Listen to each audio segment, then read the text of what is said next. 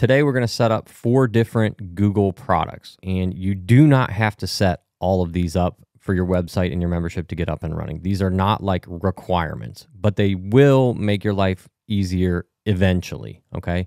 Google Analytics tracks all of the data from your websites. So currently we have our main website, which is hosted on Kajabi. We have our subdomain of our website or our blog, which is hosted on WordPress or which is hosted on SiteGround, but we use WordPress. And then we also have our subdomain that is on Thrivecart or join dot whatever your domain is dot com. Okay, so we'll need to add the Google Analytics code to all three of those places. All right, we're not going to set up in great detail all the different events inside a tag manager for purchases, signups, and all those things. Google Analytics 4 does a pretty good job of tracking everything that we need for right now on its own. You can set that stuff up later, and I can actually, I'll put a link to a guy that does a very good job of explaining how to set up all the little individual tracking events if you want to use those things later on. But again, they're not necessary right now. We just need the basic analytics data to be able to make sure that we're getting the traffic that we need to our website, that our time on site is good. Because remember, we want people to be on our site and actually reading through the material, using it, downloading it. We want to make sure that those things are working. Okay. If people purchase, we'll know they purchase because we have all of that data inside of ThriveCart, ActiveCampaign, Kajabi. We have we have all of that information that we need.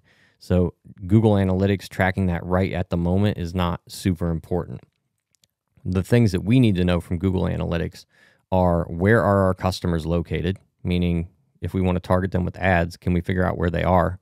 Can we figure out what times a day they like to be on our website? Very important because that's when we know when we want to post things on social media.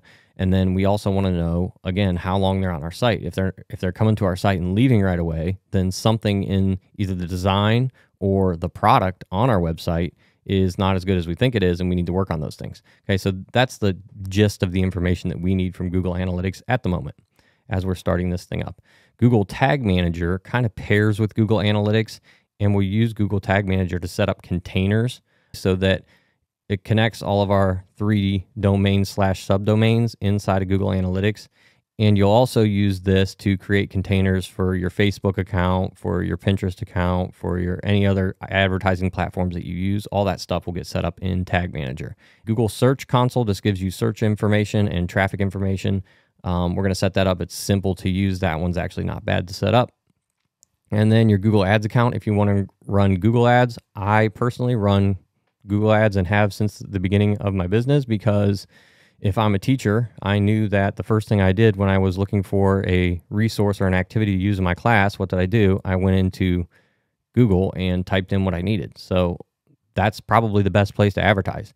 Everybody wants to, you know, say how great Facebook ads are and TikTok and all these other platforms. But at the end of the day, as a teacher, if you need something, you go type it into Google or you type it into YouTube. You type it into some form of Google product. Okay. You don't go on Facebook and type in the search bar, you know, adding single digit numbers activity. That's just not something that you do. Now, you will get tons of traffic on Facebook because there are tons of teachers on Facebook. But the ads have to be set up differently than they do in Google Ads. It's a two totally different platforms. Okay, so this they have search intent, meaning they are looking for your stuff. You need to put it in front of them. So that's what we're going to use Google Ads for. And those are the four things that we're going to set up. And once we get those set up, we will get away from all this adding code and stuff to the website and get back to the normal business of finishing up creating your membership. So let's head on to lesson number one.